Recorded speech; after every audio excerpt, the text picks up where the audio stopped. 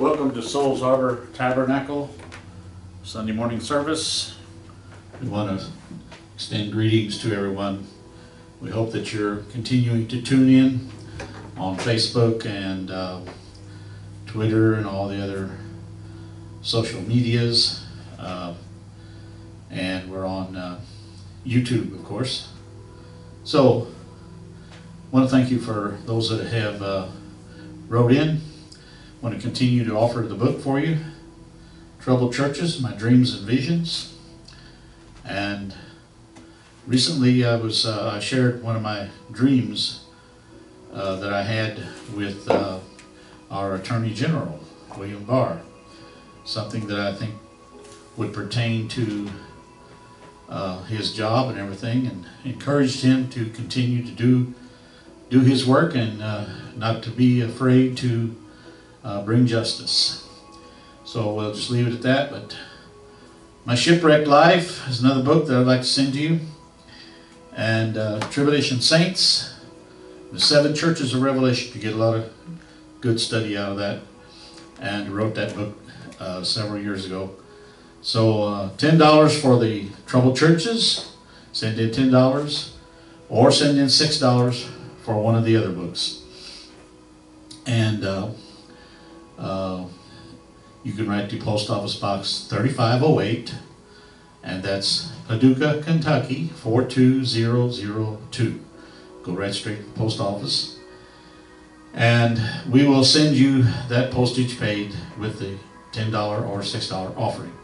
Indicate which book that you'd like to have. Appreciate you tuning in. Post Office Box 3508. Amen. I watch these programs, you know, and different uh, channels and different uh, different ministries, and they'll give the address or the phone number so fast that uh, uh, you can't. You have to rewind it and play it over several times. Maybe I'm just slow, but uh, that's what I have to do in order to get it.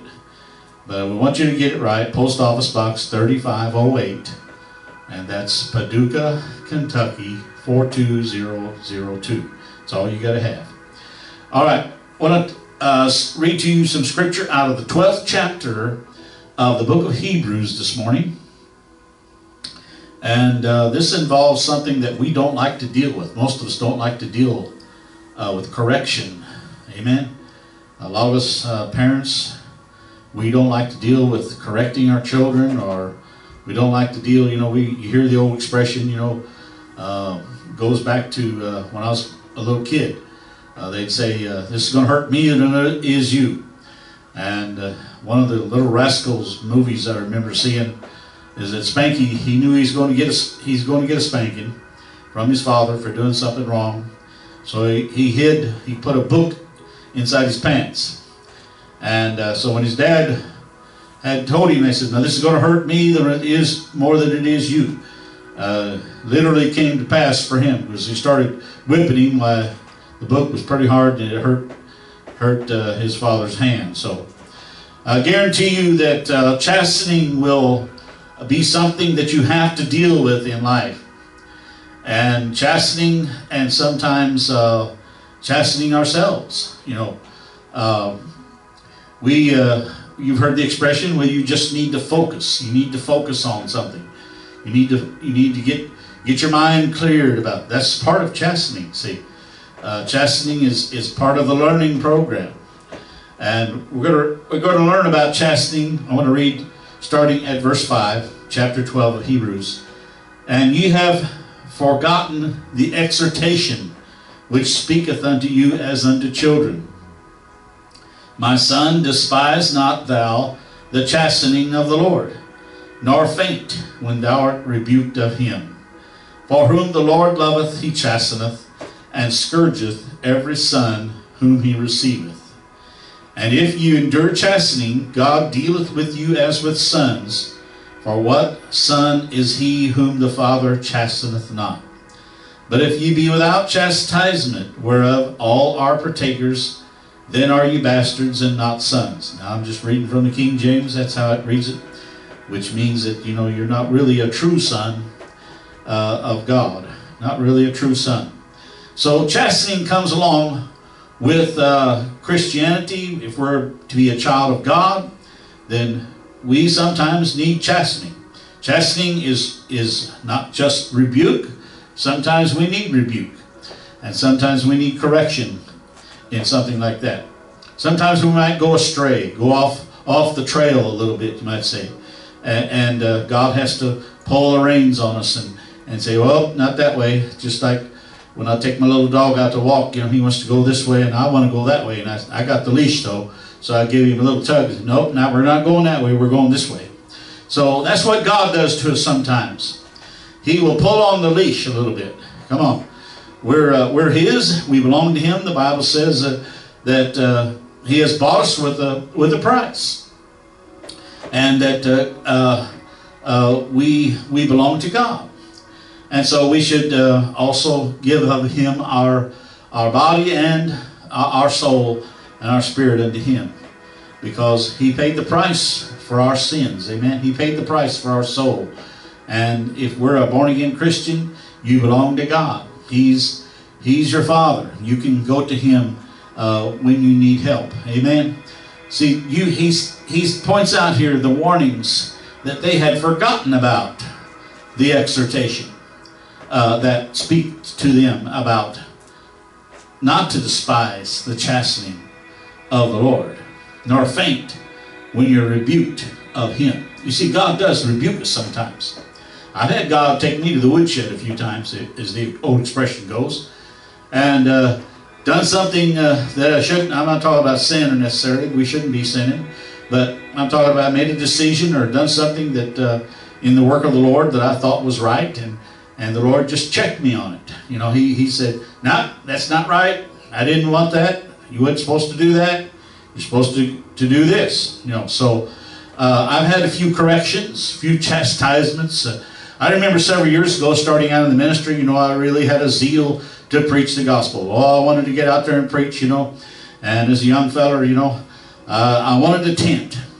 Uh, I prayed about it, you know, and I prayed about it for a tent to go out and put put the tent up, you know, wherever, and, and preach to to others. After after all, I'd been saved in a tent revival uh, when I was a child.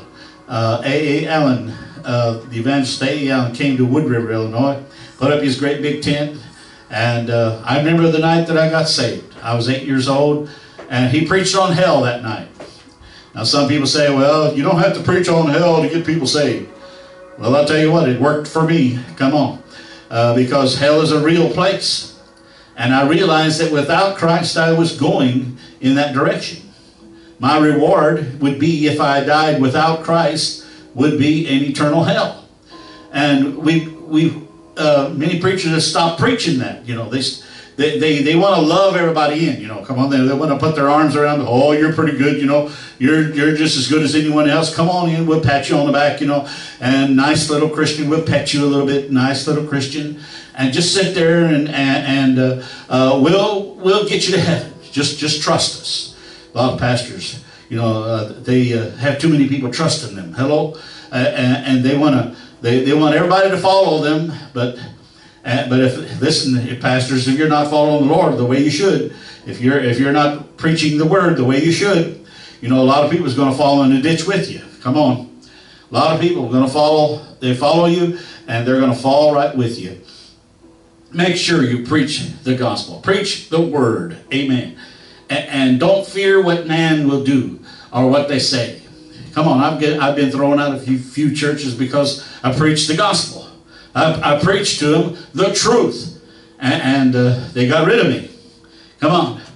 But listen, I'd rather uh, preach the gospel and man get rid of me than, than uh, to compromise the gospel and have God get rid of me. Come on now. I'd rather have uh, the, that way, you know, come on, that God not get rid of me, but man wants to get rid of me. Come on. So uh, he said, despise not this, the chastening of the Lord. And I looked up the word chastening here, and there's some notes here. I use the uh, Dake Bible, and it's pretty informat informatory, uh, pretty uh, pretty good. And when I, I, looked at the, the word chastening here, comes from a Greek word, paideia, is the way I pronounce it, and it means child training. And according to Ephesians uh, 6 and 4, uh, it, the child training means to nurture and education, discipline, correction, bring them up in the nurture and admonition of the Lord. It says in that verse, bring them up in the nurture and admonition of the Lord. Psalms 111 and verse 10 says that the fear of the Lord is the beginning of wisdom. And Proverbs 1 and 7 says that the fear of the Lord is the beginning of knowledge. But fools despise wisdom and instruction. Know, you can't, some people you cannot correct. You cannot instruct them. You cannot uh, uh, change their mind. They're, they're just fools. You know, they got their mind made up and, and they know the way. They don't need anybody to tell them. They don't need anybody to tell them. They're just as good as anyone else. Come on. And they make the mistake of comparing themselves with others. And they look at others and they say, well, if that's a Christian, I guess I'm going to heaven too. Because if they say they're going to heaven and they live like the devil, you know, and they they spit and they cuss and they and they chew and they, they drink and and, uh, cuss like a sailor. Sometimes when you get them mad, they get mad at you. They cuss like a sailor. Come on, uh, poor old sailors get blamed for that. Uh, you know, but I, I've seen some people cuss worse. Come on, and you know the fear of the Lord is the beginning of knowledge. We have, if, without the fear of the Lord in us, we, ha, we cannot even begin to know the Lord. We cannot even begin uh, to grow uh, in wisdom and knowledge. So, but he said, fools will despise this wisdom and instruction.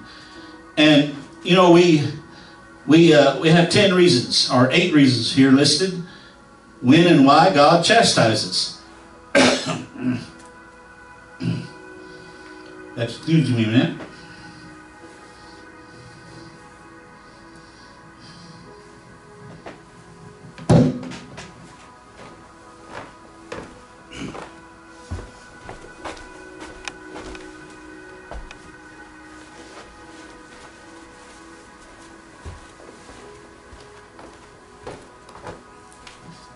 I had to clear my throat there a little bit. Sorry about that. But uh, eight reasons when men refuse to hear, as in Job 33, when they commit iniquity, in 2 Samuel 7 and 14, when men provoke God, Psalms 6, 6 and 1, when they forsake God, Psalms 89, when they when men refuse to judge themselves, 1 Corinthians 11 and 34, when they stubbornly rebel, in Deuteronomy and Leviticus and Numbers. When men sow to the flesh, Galatians 6. When they when his children need instruction and correction. So we need instruction and correction. And what better way to get it than from God himself? You, you see, that's what the Bible is. It's the roadmap to life. It not only it gives us the instructions, of what to do. It shows us how to do it. It shows us the, re the results if we don't. It shows us uh, what the uh, rewards are if we do obey the word and what the rewards are if we do not obey the word. So it, with God, it's, it's yea and amen. There's no if, ands, buts, and maybes about it. God doesn't change his mind. God doesn't uh, he doesn't uh, he doesn't have a double mind. He when he says something, he means it. Come on. When when he uh, when he puts it in his word, he means it. He, he's not going to change it. But man would like to change God's word. Amen. Man would like to change God's word, but you cannot change it. It is established in heaven forever. The Bible says. He said in. Uh, uh, the verse here where I read earlier, verse 6, Whom the Lord loveth, he chasteneth, and scourgeth every son whom he receiveth. Now, chastening is a good sign of love. Come on. You, you chasten your children because you love them. If you didn't love them, you just let them go, let them do their own thing, let them grow up the way they, they, they want to, and, and let them do their own thing, and they're going to end up probably in jail. Uh, because you didn't chasten them, you didn't correct them, You didn't bring them up in the way they should go. You didn't uh, scourge them. Scourging means to whip. Hello, in the Greek? To whip, to flog, to beat. Always translated scourge in, in Matthew 10 and Matthew 20 and Matthew 23 and Mark 10 and Luke 18 and John 19 and Hebrews 12 here in this chapter here. It is a correction, a, you know, it's not a beating, but a whipping, you know, is a, uh, a signal, hey, this is getting your attention now. If you do this again, this will happen to you again. You know, God made that little soft part of our body, you know, the behind, uh, there for whipping. And, uh, you know, you can correct a child, you can beat them, but not, not hurt them in such a way as when you correct them and you scourge them. So, and I've seen some children seem like they're harder to raise. I raised four children. Seems like some of them were harder to raise than, than some of the others. Uh, seems like some of them got it right away. You know, hello, first whipping or so. Yeah, I got that signal. Uh, I won't do that again. Uh, and then others, uh, uh, they they thought they could get by with it. Well, I know I'll get a whipping, you know, but I'm going to do it anyway. And, and, they they they just they just defy you sometimes. Some children are like it. Not not any of them are like. Come on. So, and you know if we endure chastening, it's because God's dealing with us. God's dealing with us as, as he would deal with his son or his daughter. He's dealing with us as a father chastens. But if you're without this chastisement, he said, now all should be partakers of this chastisement.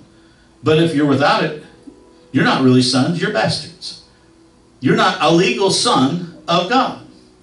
Come on. If you cannot endure uh, the chastening of the Lord, if you cannot endure uh, the warnings, the, uh, the corrections, the instructions of God, all of that is chastening. Come on. And, and if you cannot endure that, then you're not a son of God. Come on. You know, and, and uh, I've heard some people say, you know, I went door to door one day talking to people, knocking on doors, and and asking them about what church they went to and all that. Try to get uh, visitate, what we call it, visitation. You know, people give you all kinds of excuses, and sometimes you run across some people that are sick, you know, and they really need prayer. And uh, you start start to pray for them and everything, and they say, "Well, I don't know if you should pray for me or not. I think I think God's chastening me. I think God's punishing me for something." You ever run across that? I have. And people thought, well, I said, where did you get that idea that God's punish, punishing you with sickness and disease? Uh, if He loved you, He would give you the healing that you need, not chastening like that. That's not chastening. And, and but the, they they heard that from their pastor, from the church, from the doctrine that they believe that if you're if you're sick, you're suffering for the Lord. You're suffering uh, to give God glory. Now, how does God get glory in someone's sickness? How does God get glory because you're down, you're ill? How does God get glory out of that type uh, of uh, correction or chastening if it is? If it is chastening, uh, as Dake says here, if chastening is sickness, then all who become Christians are to be made sick. Is this the reward of righteousness? Does God reward us for our righteousness? By making us sick? It don't make sense. Why did Jesus come and his the biggest part of his ministry was healing people? He healed the sick. He raised the dead. He cleansed the leper. He opened the blind eyes. He unstopped the deaf ears. God, uh, Jesus just come on and he ministered to people. He didn't first of all ask them, say, what church do you go to? Uh, do, you, do you go faithfully? Are you faithfully uh, attending down here at the synagogue or, or do you pray every day? No, he asked, he just preached it to him. And he said, I've come to give life and life more abundantly. You know? And, and uh, you know, whenever I pray for somebody, I don't ask them what church they go to. Uh, you know, I, will pray for them and I'll say, now, you, this is between you and God. This, our prayer is between, between uh, uh God. You know, this is for God to hear us. And, and God's going to give you the answer. And if God chooses to heal you, then He'll heal you. And if not, then ask Him again. Come on. Sometimes you have to ask God again. Some people just just lay there, you know, and suffer, and they say, "Well, I'm suffering from the Lord, uh, you know, and I'm getting holier because of it." Hello, how are you getting? How is suffering getting you holier? How is suffering getting you closer to God? Uh, it don't work that way. Some people got that uh, upside down, turned around the wrong way. Is God chastening you because of that? Uh, are you sick because it's God's will? No. You're sick because the enemy has attacked you. Because uh, some disease has got, gotten a hold of you and, and uh, uh, you're suffering and God wants to deliver you. God wants to save you. God wants a healthy church. God wants a, a, a, a thriving body of Christ. He wants he wants to minister to your needs. Amen. That's, that's what Christ is about. He come to minister. He come to deliver. He come to set free. He come to heal and to restore. Come on. He didn't come to punish people. Well, if, if Jesus' ministry was to come to punish people and chasten them, then he wouldn't have healed any sick. He wouldn't have raised any of the dead. He would not have opened any of the blind eyes. He would not have unstopped any deaf ears. He would have not healed the leper. He would have not healed the cripple. He would have not healed those that had withered hands and everything. He would have said, You just stay that way and you'll get holy. You just stay that way. And in fact, you need to get sicker. If you want to get sicker, now you can get closer to me. That, what kind of a nonsense is that? No, but Jesus come to heal, to deliver, to give life, and life more abundantly. He blamed all the other stuff on the devil. He said, the enemy comes but not, he doesn't come but for to steal, to kill, and to destroy. That's the only reasons he comes for. But he said, I have come to give life, and life more abundantly. I believe that's John 10, 10. So Jesus wants to give you life. Excuse me. So uh, we'll, we'll just leave it at that. The fear of the Lord is the beginning of wisdom. Amen? You got to get that first. If you don't fear God, I can't see where God can use you. I can't see where God can help you. If you don't fear the Lord, you're not going to obey His commandments. You're not going to listen to what, what His Word says. But the fear of the Lord, you know, God can put the fear of the Lord in you. Come on. I should tell my kids, you know, when I whip them, I am going to put the fear of God in you. And so I'm going to tell you today, yeah, He did. He put the fear of God in us. And uh, I think sometimes their mother will put more fear of God in them than I did. You know, I used to pray for them when when, when their mother would get a hold of them, and, and I knew they was going to be in trouble, brother. I remember uh, one time we was in church, and the, the youngest boy he he was acting up and acting up and acting up, you know. And Sharon loved to hear the word. You know, she loved to hear the the preaching. Know, she'd have her Bible open up on her, her lap, and she'd be following the preacher, you know and that kid would start acting up and acting pretty soon everybody knew it. It was a sign when she slammed her bible shut and put it down that kid was in trouble. You can bet on it. Everybody went oh he went too far.